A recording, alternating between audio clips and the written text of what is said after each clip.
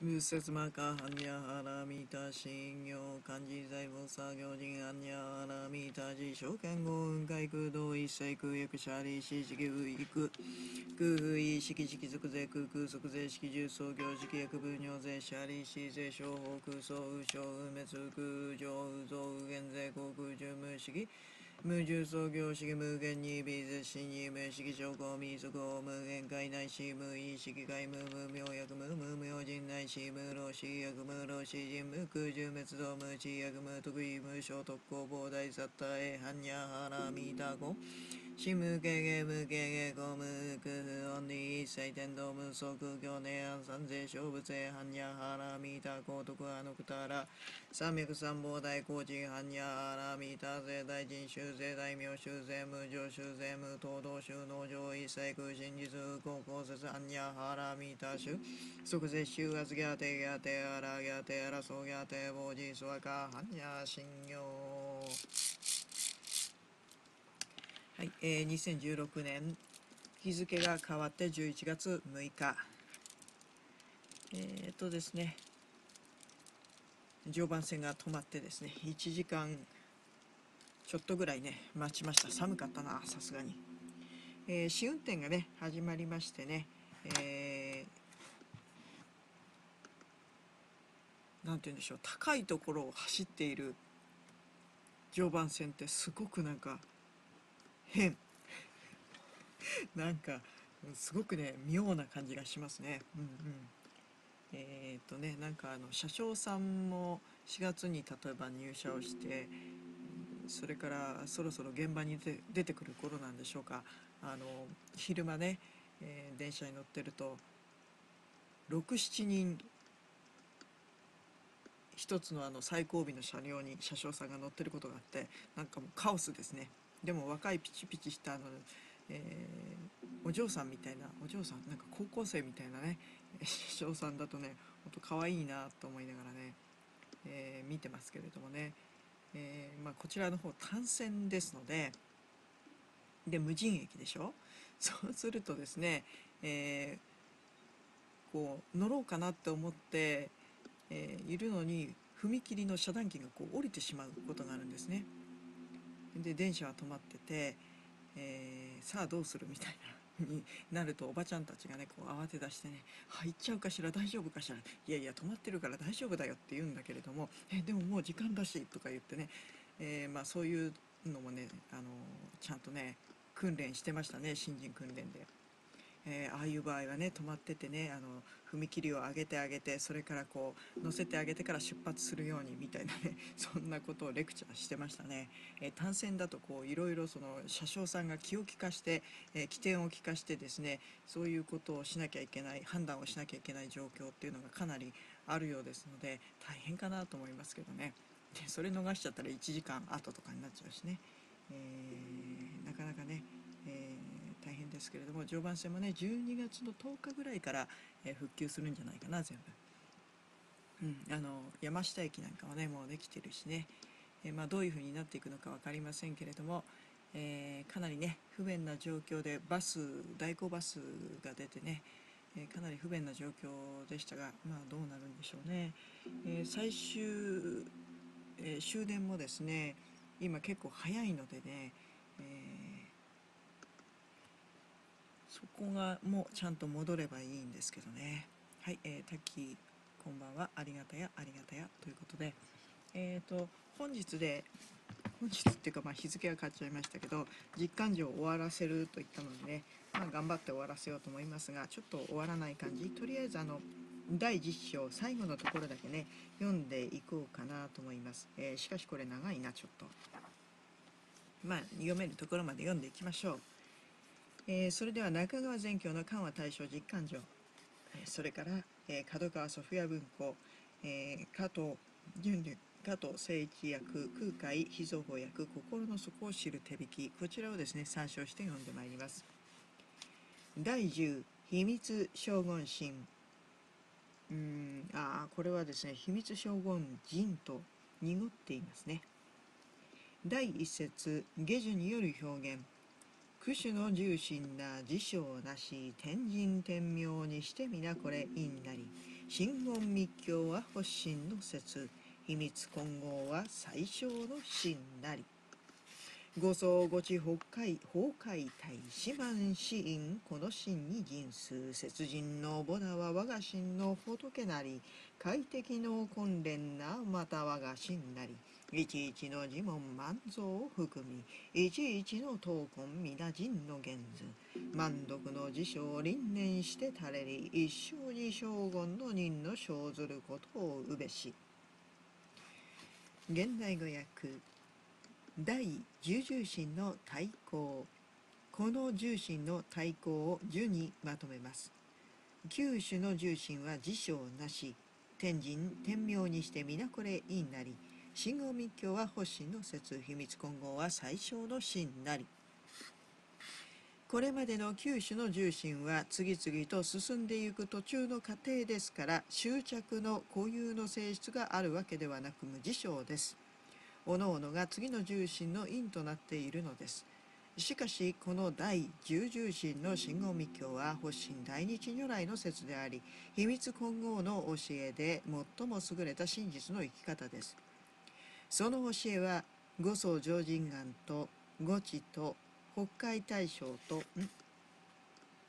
大丈夫か、えー、北海大将と獅子曼荼羅と七院等であってこの重心の中に述べられています。世界を微塵にしたほどの多数の仏部の仏たちは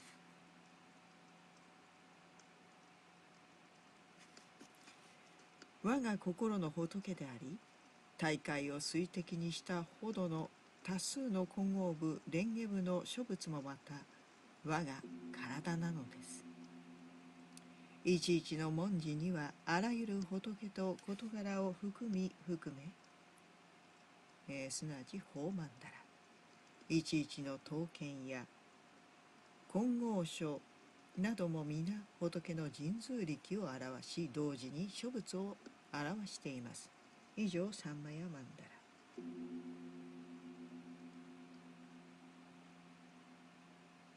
私たちすべての信心には曼荼羅で示されるようにあらゆる仏徳が本来円満に備わっているのですから私たちは修行や体験を通してこの事実を確認していきさえすればこの生涯のうちに秘密将軍の仏をこの自身に体現することができるのです。原文今日にえっ、ー、とごめんなさい。え第2節教説による秘密将軍括弧1大日教重心本の節操。教に曰くまた次に秘密主真言門に菩薩の行を修行する諸々の菩薩た無料無種百戦具体な豊こに、うん、百戦具体な豊こに釈従せる無料の功徳知恵とつぶさに諸行を主する無料の知恵方便と皆ことごとく成就すと。下して曰くこれは初めて真言にいる菩薩の功徳を短ず現代語訳大十重心の天子。大日教重心本にこう言っています。また次に秘密主よ。真言密教において菩薩の修行修行をするすべての菩薩は無料無数百千億光という長い間の積み重ねで得られるべき計り知れない功徳や知恵と十分に諸々の修行を主して得られるべき無料の知恵方便などの力とのすべてを成就することができるのですと。これを釈しますとこの一段は初めて真言門に入る菩薩の功徳を算端しているという意味であります。括弧に大日教愚縁本の節操原文また曰くその時にビルシャナセソン一切如来一体即死力三枚に行って自称の崩壊対象三昧を説いての玉枠。我本部省を悟り五言の道を出荷し初夏下脱することを得因縁の恩理し空は虚空に等しと知って如実相の地小図。すでに一切の案の花ぬれば第一日無くなりと。下して曰くこの字は門つづまやかにして義広く。言葉浮かんで心深し面にあらずんば時がたし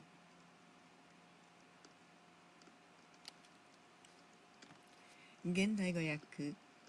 また大日教ニューマンダラボンにこう言っています。うーんちょっと待った。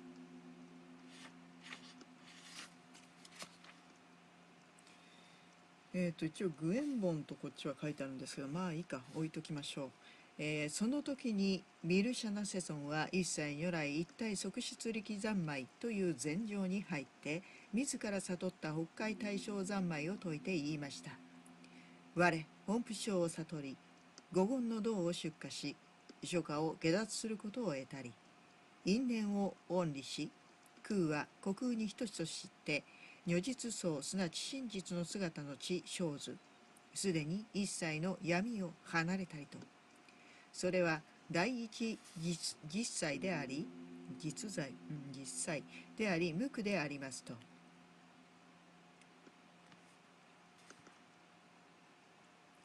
この字は文章が簡単に要約されていますが内容は極めて広く深いのです。したがって受ける者も能力を磨いて直接に師からね、先生からですね教えを受けるのでなければ明らかにすることは難しいのです。原文えー、っとですねえー、かっこ3両部大教にわたる節操また百字輪十二次等の真言漢方三魔寺門および金剛会三十子孫七院の三魔寺ありすなわちこれ大日如来の極秘の三枚なり門披露してつぶさに登ることは問わず。現代語訳。またこの大日教には百字輪とか十二時などの真言の漢方や三魔寺訪問がありまた金剛長行にも金剛会三十七尊とか七院の三魔寺等がありますすなわちこれらは大日如来の極秘密三枚なのです意味は広大ですから直接会って伝えるのでなければ文章で細かく述べることはできないのです。えーとですね、続きがですね、ここから不読段に入ります。第3節菩提心論による節操。一応加藤本のですね注釈をここで読みますと以下に続く菩提心論の門は三魔寺団と言われ自身の自らの心の探求を徹底的に深めていく感想法を述べた部分でありこの部分は理論的に求めるべきではなくて死に従って道場において曼荼羅を前にして思いを凝らすことが寛容とされています読者各位もその旨を知っていただきあくまで一通りの説明ということで通読していただければと願っております。えー、うんぬんと書いてありますが、ちょっとミュートしますね。ごめんなさい。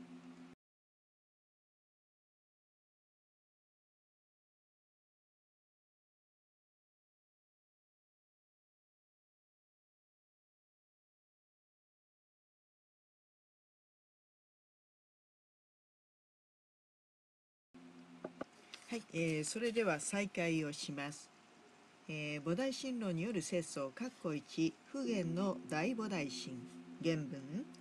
また龍明菩薩の菩提心論に曰く第三に三魔寺と一派真言行人各のごとく漢字を割って遺憾がよく無常菩提を生ずる。まさに知るべし法理に普賢大菩提心に重すべし。一切主情は本能の去ったなれども頓人地の煩悩のために爆せられるがゆえに諸仏の大悲全行地をもってこの人人秘密ユダを説いて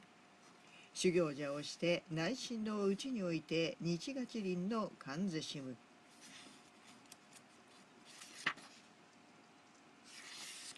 えー、一旦ここで切りますか。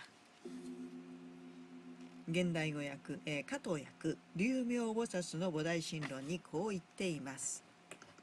第3に三魔寺の菩提心論、えー、ごめんなさい三魔寺の菩提心というのは真言行人がこのように観察し終わってどのようにして無常菩提を称するのかというと法にの計らいのない心を持って普賢の大菩提心に従すべきであります。その大菩提心は一切主情が本来的に持っているものであってそれが本ルの去ったすなわち主情が誰でも心の中に本来持っている仏の心なのです。それにもかかわらず一切主情は頓人知の煩悩のために縛られていてその真相が見えないのです。そこで諸仏は大悲心の上から善行方便の知をもってこの人人秘密ユガの観すなわち甚だ深い秘密の仏心を得るための漢方をお解きになったのです。その方法は修行者の内心の中において日輪感ガチ輪感を完全占めるのです。括弧に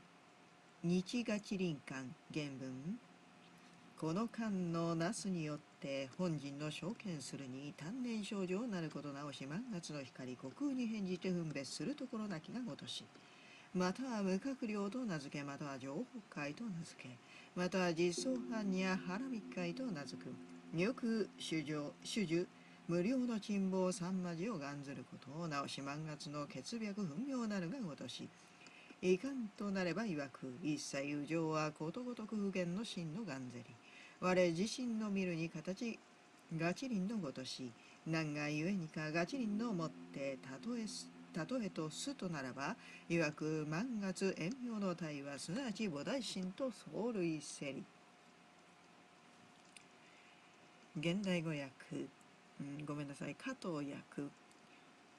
この感想をなすことによって本来的に所有している菩提心がはっきりと確認できるようになるのです。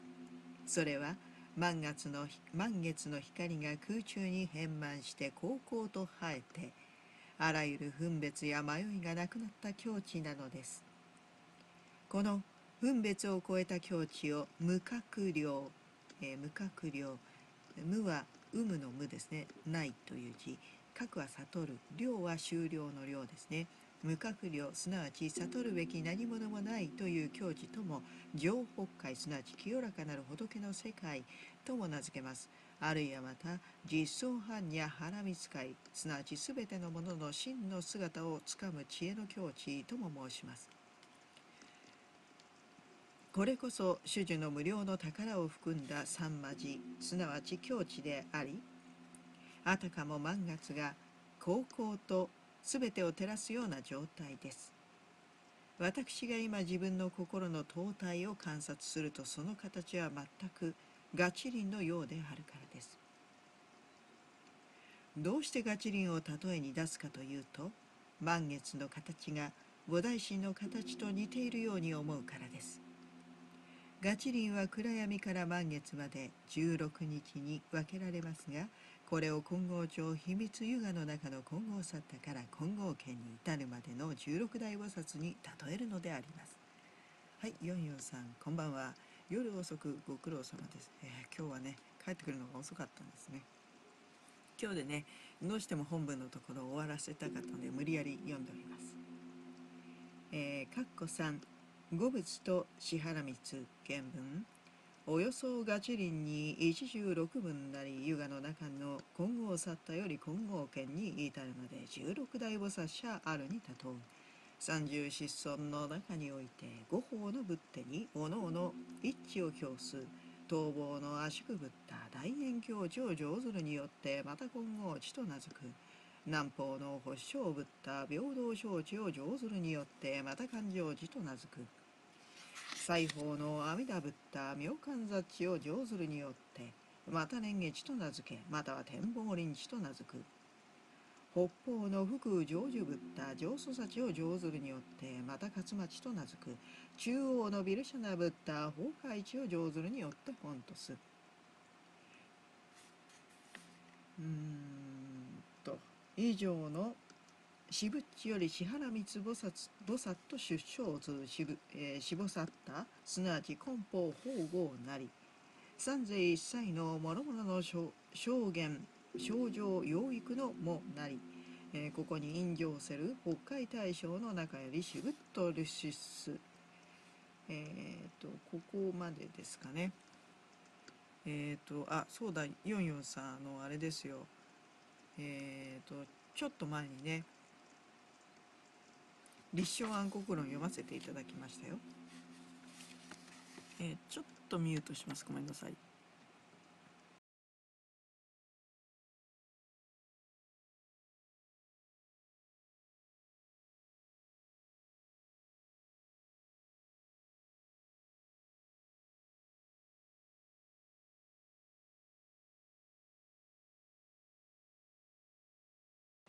はい、え、戻りました。えっ、とサムネイルはですね、えー、本日の高野山の様子です、えー、忍びのものからリアルタイムで届いたものですね、えー、さてそれでは加藤役金剛会三十七尊。三十七尊について言えば中央の大日如来とその四方を取り囲むいわゆる五仏はおのおの一つの知恵を表しています。まず東方の圧縮物は大円境地を乗ずることで成立しこれは混合部の地であるところから混合地とも名付けます。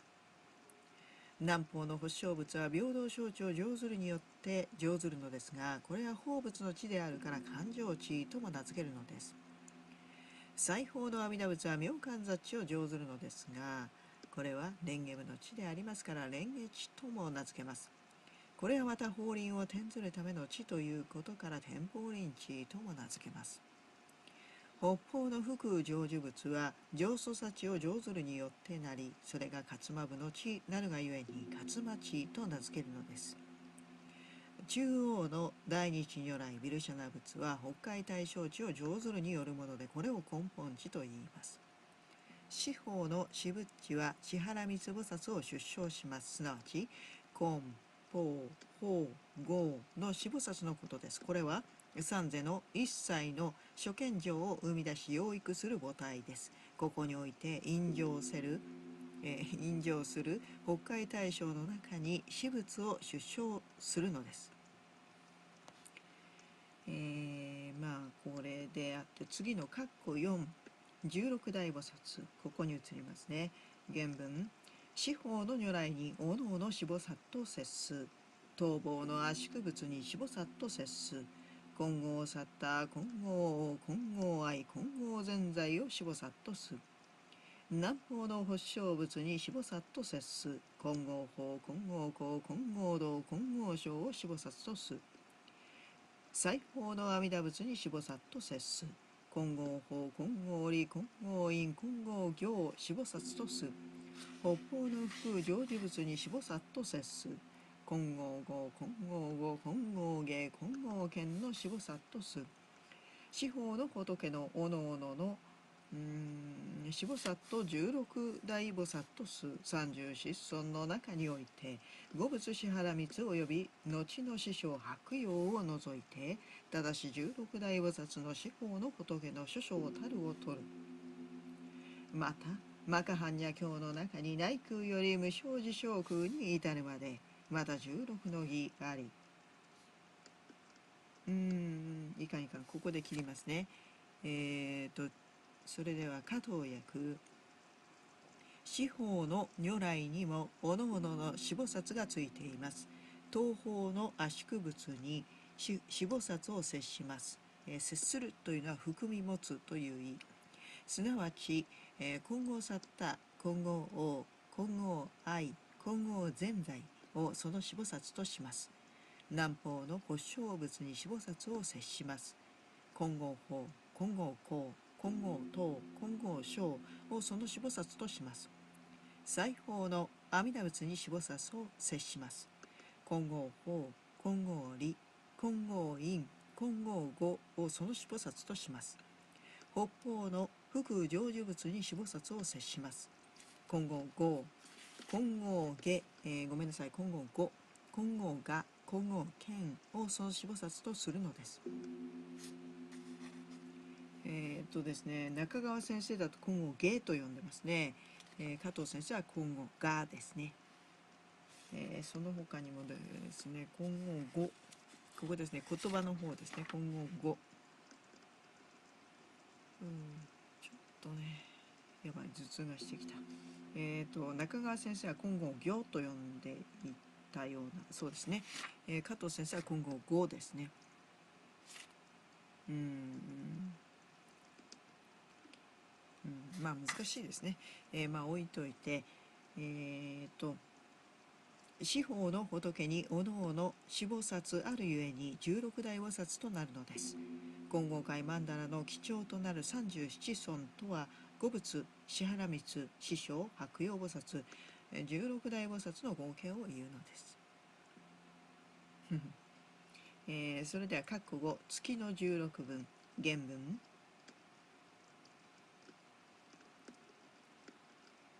またマカハニャ教の中に内空より無償自称空に至るまでまた十六の儀あり一切右上の真絶のうちにおいて一分の上昇あり、えー、宗教を皆備われりその大国微妙にして去年妙白なりないし六種に輪廻すれでもまた変略せず月の十六分の一のごとしおよそ月のその一分の妙相もし合宿の際に当たんぬればただし日光のためにその名称を奪わる。このゆえに減ぜず、後立つ月の初めより日々にようやく化して15日に至って円満無下なり。このゆえに官業者、はじめに味をもって本人の中の文の名を放棄して、ただしようやく血脈文明をならしめて無承知を生ず。うん、ちょっと行き過ぎたな。まあいいや。えー、現代語訳じゃなくて加藤訳。般若の十六またマカ般若経の中の内空から無償自称空に至る場合も十六の段階があります。えー、かっこ、えー、かっこ16の段階の最初が内空、最後が無償空。人間は誰でも心の中に清らかな性質を持っています。皆同様に持ち合わせてはいますが極めてわずかなものでしかも後年と明らかに輝いていることも確かなのです。人々が六種に輪廻して迷っている時にもその明るさは変わらずに存在していますがそれはちょうど月の満ち欠けに似ています。月が太陽と重なっている時は月の光は日光に隠れて現れませんが次第に月の光は大きくなり15日になると丸い姿になります。えー、それでは、括弧6、アジの関門、原文。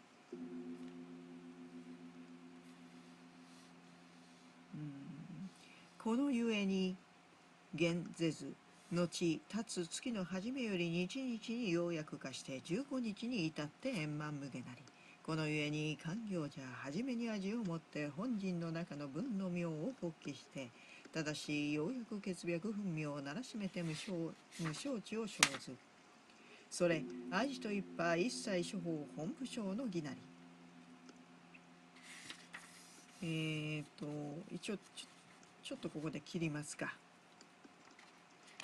えっ、とちょっとねここの初めのここの説の初めのところなんですがえー、ちょっと定かではないので今適当に切ってしまいましたが加藤役アジ本部省とアジの5点このゆえに行者はアジを感ずる場合はじめは心の一分の瞑想を起こし次第にその瞑想は大きくなって、えー、ついに満月のような生寿を超えた、えー、仏地を称するのです。およそ仏教でアジというのは一切処方の源、うん、死刑元より不詳不滅なる義を示すものであります。大日教書第14によると、このアジを釈するのに5通りあります。あ、ごめんなさい。ここからですね、祭事創業の部分ですね。原文読みます。えー、ビルシャダ教の書に順ぜば、アジを釈するにつぶさに語義あり、一つにはアジ単章、これ、菩提心なり、二つには、アージ、印象、これ、菩提行なり、三つには暗示単章、これ、小菩提の儀なり、四つには悪事単章、これ、初音藩の儀なり、五つにはアジ印情、これ、具足方便地の儀なり、また、アジを、うんと、これは何と読むのかなうーんと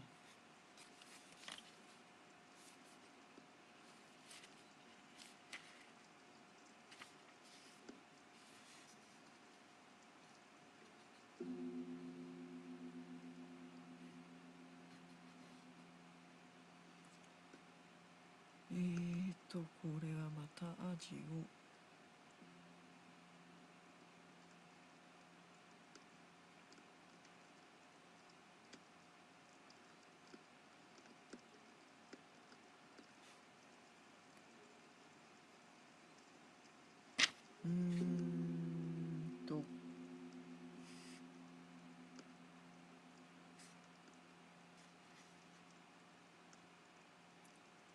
えーとアジを持ってですね、え将将軍の将アジを持って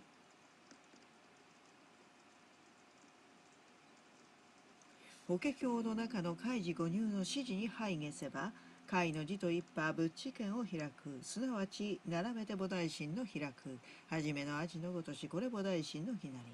字の字と一派仏知見を示す。第二のアジのごとしこれ菩提行の儀なり。五の字と一派仏知見を悟る第三のアジのごとし。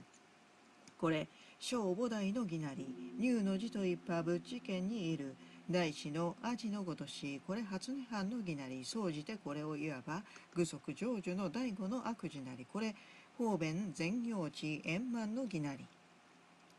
え一旦ここで切りますか。加藤役大日教書。第14によるとこのアジを釈するのに5通りあります。一つにはアジ、えー短所短い、えー母音のああですね、えーこれは菩提心の儀です。二つにはアージ、えー、陰情というのは、まあ、あの長母音のことですね。アーという、えーこれは菩提行の儀です。三つにはアンジアンという、えー短い音でこれは小菩提の儀であり四つには悪事、えーこれもですねアハという短い母音ですね。であってこれは初涅槃の儀であり五つにはアーンク、えーこれは、えー伸ばす字ですね。長母音。アーンク字であってこれは具足方便地の儀であります。またこの生字をもって法華経の中の開示語入の指示に拝借することができます。開は仏知見。すなわち仏の知恵を持った境地を開くことであり同時に菩提心を開くことであって初めのアジのごとく菩提心の儀にあたります。次に字は仏知見を示すことであり第二のアージのごとく菩提行の儀にあたります。この字は仏知見を悟ることであり第三の暗示で小五代にあたります。入は仏知見に入ることで第四の悪事のごとくこれは初涅槃の儀にあたります。これらを総括するのが具足成就の第五アンク寺であり方便全行地すなわち全てのことをうまく運べるブッダの知恵を円満する儀にあたります。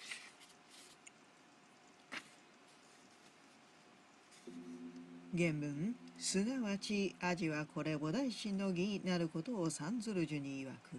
八葉の白蓮一中の間にアジ諸行の式を平原す。全地ともに金剛箱に入れて如来の弱情地を調入すそれアジにかのう者は皆これ欠場してこれを感ずまさに遠妙の常識を感ずべしもしわずかに見れ見るおばすなわち真将棋体を見ると名付けもし常に見ればすなわち菩薩の所持にいる。もし歌たようやく増上すればすなわち各崩壊にあまねく両国に等しい。賢者自在にしてまさに一切地をぐすべし。加藤役アジ感。アジはこれ菩提心の義であることを算段する樹にこう言っています。八葉の白いレンゲが自分の前一中、えー肘肘の長さですね。前腕の長さの先のところですね。自分の前、えー前習い小さく前習いのことですね。自分の前一中のところにありそのガチリンの中にアジが白く輝いて平原しています。両手を金剛箱に結んでその中に全地の指すなわち両手の親指を入れ如来の弱情地すなわち極めて静寂な心を売る仏の知恵を自身の中に招き入れると感想しなさい。このアジの実技を得得した者は皆欠場してこれを感じ決定のことですね。欠場して、えまさに遠妙な清らかな新月輪を感ずべきです。もし少しでもそうした新月の面影を見るようになればこれを真実の将棋体たるアジの闘争を見ると名付けます。もし日常いつもこれを見るようになればその人は菩薩の所持に進み入ったことになります。もしこの感知が次第にますます増大してきますとそれが広々と北海にあまねく広がりその量は虚空と等しくなります。そして幕も昇るも自由自在になりますとまさに一切地をぐすことになるのです。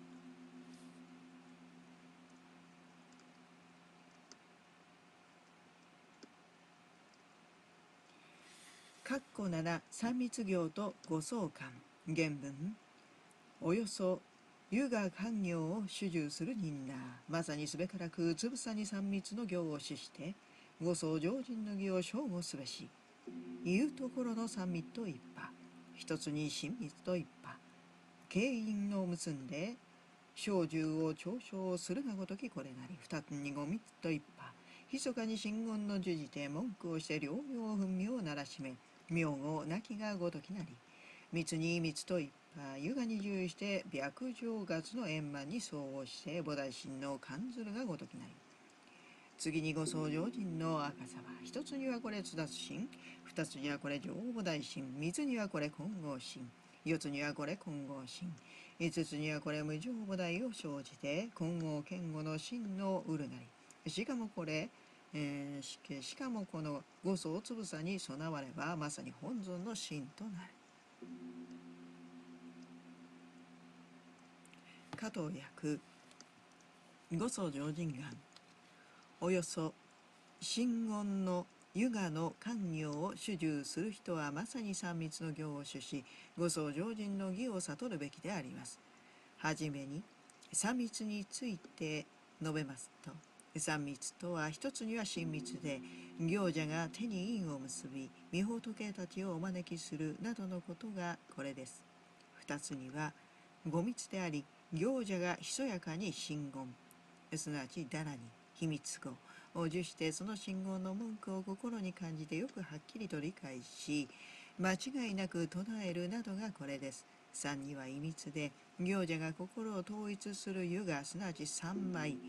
えー、悟りの心の状態に従して白状円満の月に相応する菩提心を感ずるというようなことがこれであります。次に五祖上人願について申しますと一つには一には通達菩提心二には上菩提心三には金剛心、えー、心の方ですね。四には金剛心、えー、体の方ですね。五には普賢心です。この五層が全て備わるとまさに本尊の真となるのです。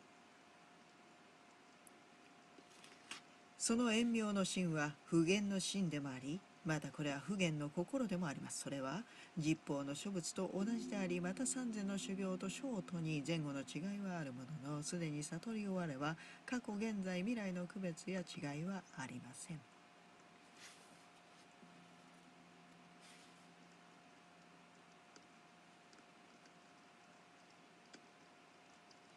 えーと、ちょっとごめんなさい。切り方がちょっとおかしい。おかしいっていう言い方は良くないですね。えーと、ちょっとあの原文の方戻ります。各8、正午の特相、特相。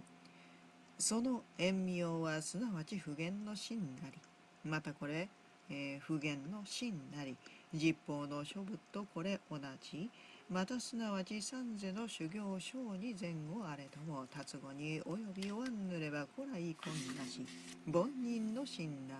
豪蓮華のごとく仏心な万月のごとしこの間もし上ずれば実法国土のもしは上もしは、え、六道の漢直三条の行為及び三世の国土の上え主上の豪の差別菩薩の因寺の行相。三世の諸仏ことごとく中において現じ本尊の真の生じて普賢の一切の行願の満足数ゆえに大ビルシャナ教に曰く核のごとくの真実心な古物の先税したもうところなりと。加藤役、えー、その縁妙の真は普賢の真でもありまたこれは普賢の心でもあります。それは実法の諸仏と同じでありまた三世の修行と小、えー、悟りのことですね。証とに前後の違いはあるもののすでに悟り終われば過去現在未来の区別や違いはありません。凡人の心は蓮華の花のつぼみであるとすれば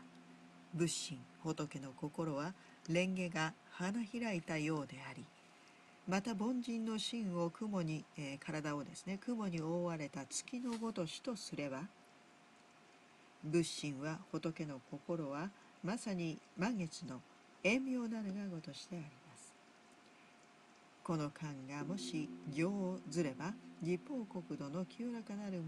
ものも汚れたるものも六道の主情や三条の脅威、えー、すなわち修行とその成果。および三世国土の上へ、えー、上は成就の上ですね。成功のせい絵は、えー、壊れるという字ですね。つまり生まれたり死んだり転変する、えー、三世国土の上へ。の主情の業すなわち行為の相違菩提の因事すなわち悟りの原因。行相すなわち様子。三者の諸仏がことごとく中において現れそして本尊の真の称して普賢の一切の行願を満足しますこのゆえに大ビルシャナ教成就七本に成就七本にこう言っていますこのような真実心は全仏、えー、すなわち昔の仏先の仏がすでに先絶したもうところでありますと。かっこ9問答決議原文問う先に二条の任な報酬あるがゆえに成仏することを得ずというと今また菩提心の主せしむる三魔寺社とは遺願が差別なる等二条の任な報酬案がゆえに九九に利を生じ鎮宮大弱にして、うん鎮宮大弱して限るにコスをもってし思考して大心の起こしまた三千門三千門の中に乗じて無趣向風このゆえに恩利すべきに垂れり絵しすべからずくすべからず今真言行人なすでに陰謀の常習を発してよく正しく真実と見る地位なりといえども。あるいは無視の見客のために今だ如来の一切地を生ずることをあたわざるがゆえに明道をよくぐし次第を、うん、主持して門より仏地にいるものなり。すなわちこの三魔寺社はよく諸仏の事象に達し諸仏の発心の悟り。崩壊対象地を生じて大ビルシャナ仏の自称人自由人変化心通る心の上手上手。曰く行にまだ生ぜざるがゆえにりよろしくこれを叱るべし。かるがゆえに大ビルシャナ教に曰く。湿地は真より生ず金剛長油が今日に徳が今年一切義成就菩薩。初めて金剛座に座し無常道を主主生じてついに諸仏のこの真理を授くることを被って思考してよくかを生ずおよそ今の任。もし心血上して今日のごとく修行すれば座を立たずして三魔寺厳然しここに本尊の真の成就すべし。かるがゆえに大ビルシャナ教の供養次第法に曰くもし西暦の広く増約するなくんば。法に従してただし菩提心の感ずべし仏この中に万行を具して上白順上の法を満足すと説いたも。加藤役三魔寺法問う。先に二条すなわち少女の人はまだ補修すなわち五運等のもののとらわれがあるから成仏できないと申しました。しかし今また五層とか三密など嘘、えー、すなわち姿がある、えー、まあ、目に見える形の方法を設けて三魔寺の菩提心を修行させるのは、えー、補修すなわち五運等の方は実在すると見る執着に基づくように思われますが前の場合とどこが違うのでしょうか？こと二条の人は補修があるので長い時間をかけてようやく利を悟り神宮大弱すなわちしばらくそのままの状態で過ぎえー、その後に目覚めてようやく大乗の心を起こすのです。またそれから後も長い長い時すなわち悠久の長寿が必要なのです。こうした二条の教えは離れて、えー、離れ捨て去るべきで決して頼りにするものすべきものではありません。これに比べて真言行人すなわち真言密教の修行者はすでに任州と保州の2つの執着を発しています。真実を証券する地を得ることはできるのですが大昔からの悪い積み重ねの残っていることもあってすぐには如来の一切父を称することができないためにいくつかの次第を経て仏地すなわちブッダの位に入っていくのであります。すなわちこの三魔寺というのはよく諸仏の事象に達し諸仏の発心を悟り北海対象地を称することそして大ベルシャナ仏の自称心自由心変化心通る心を生ずること上ずることなのです行人はまだこの悟りを称していないのですからその悟りは本来自身に備わっていることに気づくまで理としてこれらの漢方を主さねばなりません。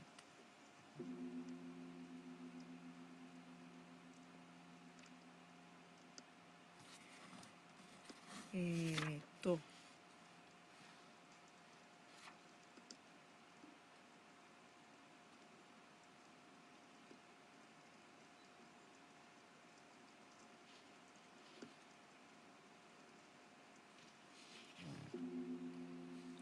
えー、もうちょっとですね、えー、大十重心の天候。このゆえに大ビルシャナ教すなわち大日教にこう言っています。湿地は、えー、心より心より生ずと。また金剛町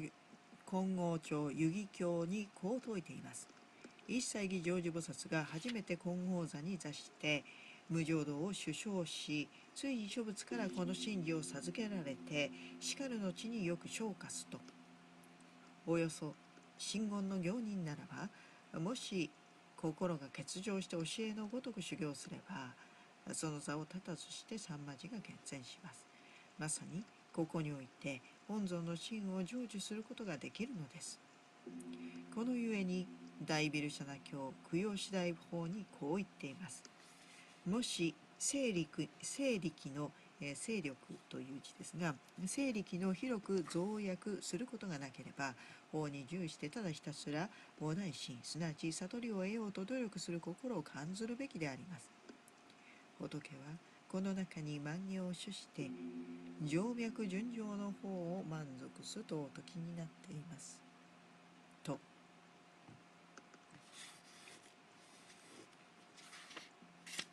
えー、それではかっこ10菩提心の功徳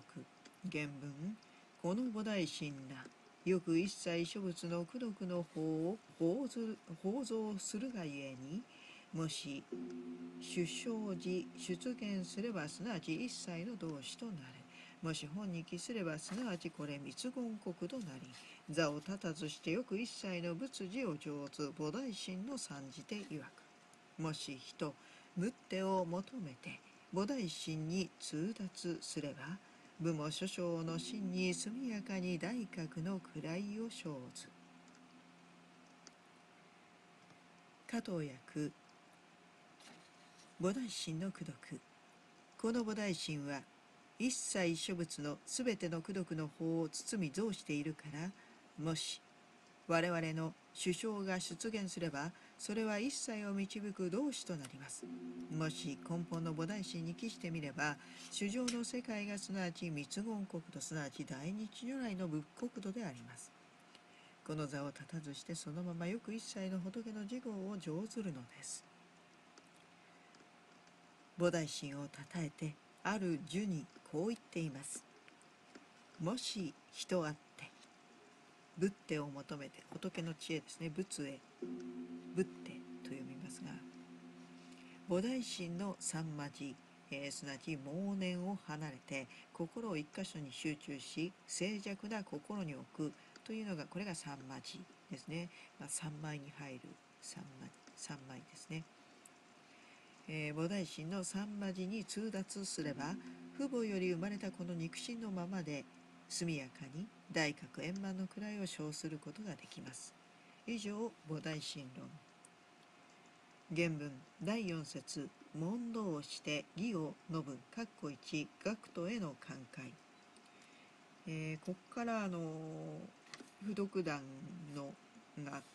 終わってですね、えー、読み方解除ですね問うすでに樹の言葉を聞いつこうその義を解けと真言凶暴はいちいちの生じいちいちの言名いちいちの釘いちいちの上流におのの無辺の義を伏せりこうふとも偶人しがたしまたいちいちの字に三義を伏せりいわゆる生じ実相なりまたに義をぐす自相自義これなりまたいちいちの空洞に戦略人否の二義をぐす卒字に断じがたしもし実のごとくとかは正気は疑いをいたし法を生じて定んで一千悩む剣の人となんなこのゆえに王家の如来は必して断絶。伝望のぼさったおいて論絶。心これにありゆえに今後長行にとかく。このビルシャの三町の方は未完成の者に向かって一時をも解くことを得ざれ。もし本尊の義気真言をばたとえ同胞の行者なりというとも、えー、たやすく解くことを得ざれもしとかは現前には陽にあたり王を招き後には無権国に出せんと。加藤役問答の形式で大重重心を説明する問う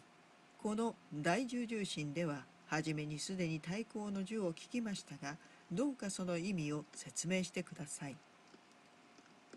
こと信号密教ではいちいちの生じにも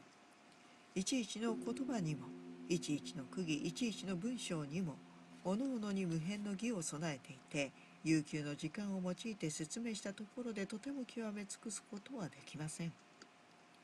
またいちいちの字に賛義を唱えていますいわゆる章と字と実相、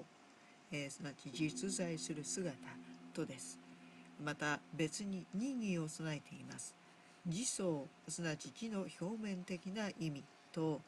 字義すなわち字に含まれた深い意味とがそれです。これです。えー、またいちいちの国も戦略尺と人皮尺、えー、すなわち一般仏教の解釈を戦略尺とすると。えー、真言密教の解釈を人皮釈深く絶えなる、え、解釈。との二義がありますから簡単にお話しすることは無理なのです。もしまたありのままに話してみても真珠する力のない人は、まあ、受け止める力がない人はですね。かえって疑惑を起こしてこれをそしることとなりしまいにはそういう人々は仏の性質を永遠に失った人となってしまい無限地獄に落ちることとなってしまいます。このゆえにこの世の人々を救済するために王家、えー、すなわち本体である大日如来が主樹の諸尊に身を変えて主樹の人々を救済する。これを王家の仏心という、えー、まあ、この王家の身となられて出世された釈尊も目して密教をあえて解かなかったのであり教法を伝える菩薩たちもそのままにしてあえて密教を論じませんでしたのも皆誤解を避けるためでありましょう。だから金剛長行にこう言っています。このミルシャナの三魔寺の方はまだ、えー、感情の儀式を済ませていない者に対してはわずか一時といえども解いてはなりません。もし本尊の儀器儀器、えー、これお経のことって書いてあるんですけど私はちょっと違うと思うな、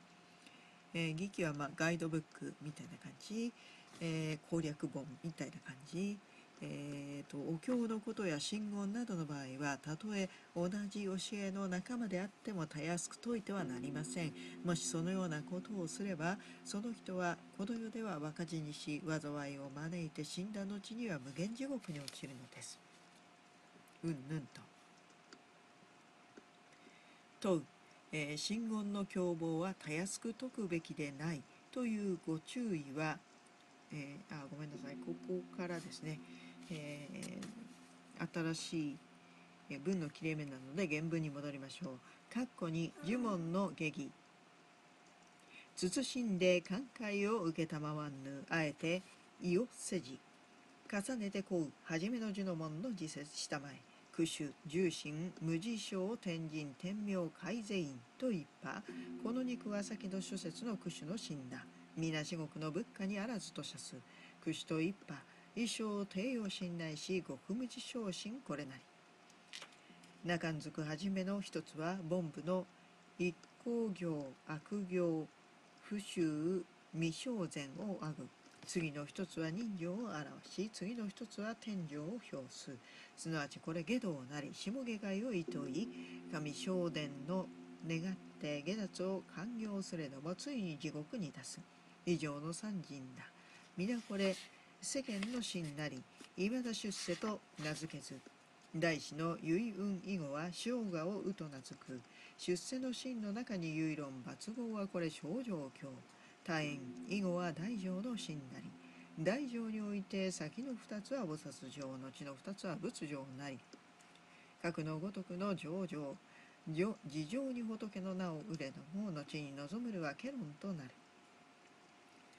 えー、前々は皆不自由になり故に無事象と名付く。午後は、えー、後々はことごとくかにあらず故に改善院という。天殿総申すること。各々に人名なりこのゆえに人名という。真言密教発信説と一派この一句は真言の教師を表す。極無自称異下の執教は皆これ多受有大家仏の諸説なり。真言密教両部の秘蔵はこれ発信大ビルシャナ如来と事件族の死守発信金剛北海宮及び真言えー、空殿等に従して自受崩落のゆえに演説したもうところなり十八手の式等にその分明なれば、えー、その門分明なればさらに上昇を引かず秘密混合最小心と一派この一句は真言上、えー、真言上教の、えー、諸条に超えて苦境真実なることを示す。秘蔵法訳関係、えー、以上ですね。加藤役問う真言の凶暴はたやすく解くべきではない。というご注意は慎んで承りました。あえてこれに反するようなことはいたしません。それでは重ねてお願いいたしますが最初に挙げた樹の意味を切示してください。ことう、えー、九種の重心は自称なり天神天明すなわち次第に深く。素晴らしい立場に上っていって、えーという意味ですね。天神天明にして皆これ陰なりとはこの肉は先に説いた九種の重心は至極の仏家ではないと否定しているの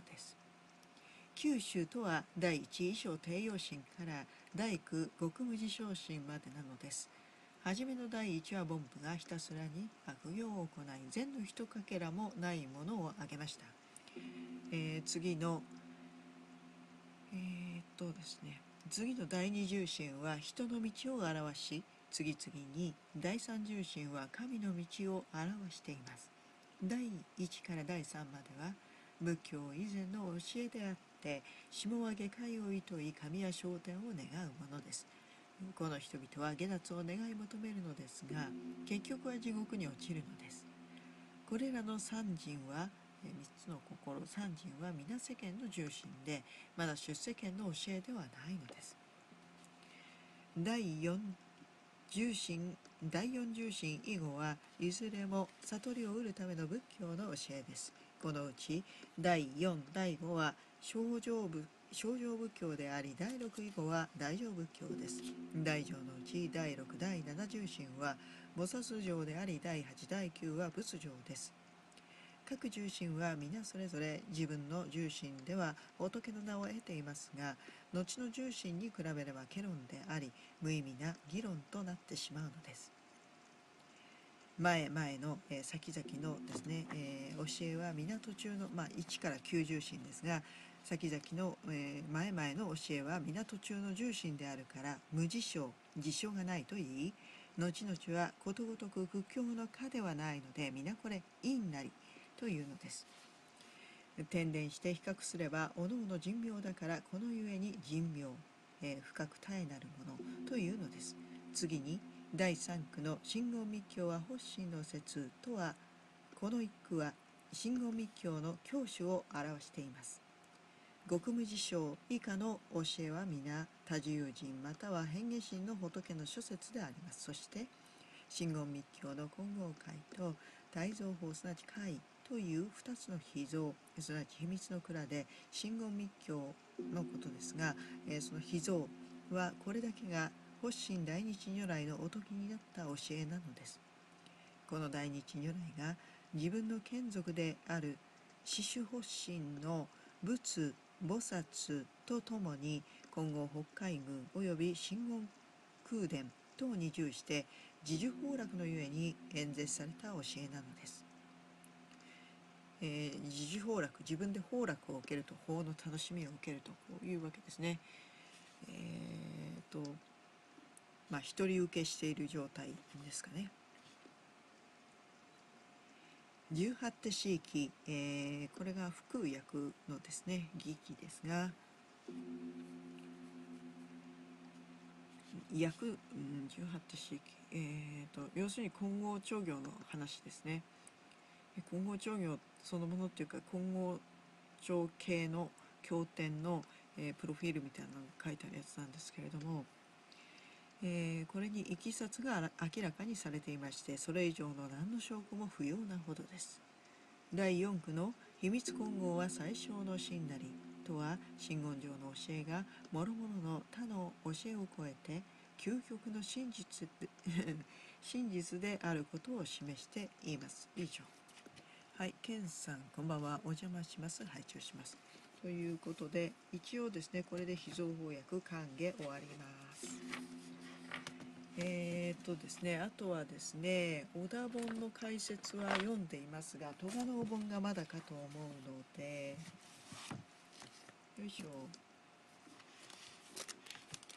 ですね。えー、戸賀能本の解説をですね、明日読んでいけたらいいなと思います。おっと、なんか切り替わったばっかりでもったいないですが、しょうがないですね。えー、少し専門な的専門的なことも書いてあるししかもちょっと長いんですけどね、えー、まず何とか読んでいけたらなと思います、えー、本日はここまでにしたいと思います。とりあえず、えー、終わりましたからなんとかね、え実感時を終わりました。最初と最後の方最初からこのスタイルでやってたわけじゃないのでかなりこうムラはありますけれどもね。まあしょうがないですね。えー、それで、えーと、この解説が終わりましたらですねもしくはその前後にですね秘蔵翻訳を通してノンストップで素読をしていきたいと思います。まあ1回で全部は読めませんので何回かに分けて、えー、読んでいきます。それで一応終わりということになる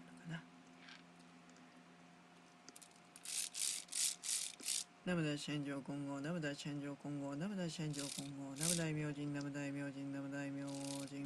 元日宿徳牛一切が東吉郎、海具成仏道。えー、っと、うん、なんとか頑張ったね。一応秘蔵翻訳は読むのは3回目なんだけれども、まあ、今回は特にね、真面目に読んだ感じですね。あの、さらっと流し読みじゃなくて、まあ、5冊の本を並行して読んでいきましたと。であとはですねこの文章をまあ見て気づいたところ等をですねちょっと訂正しながら平成の読み方を確定していってですねテキストを作ったら作れたらいいなと思っていますなので頑張らないとですねうんまあ今は比較的時間が自由になりそうなのでやれるかな。えー、それまあそこが終わったらですねとりあえず食に本に残りをね読んでいくことを優先させたいかなと思います。あと250回の研究ですね。それではおやすみなさい。良い夢を。オンバサラシャンテューまた明日ありがとうございました。ごきげんよう。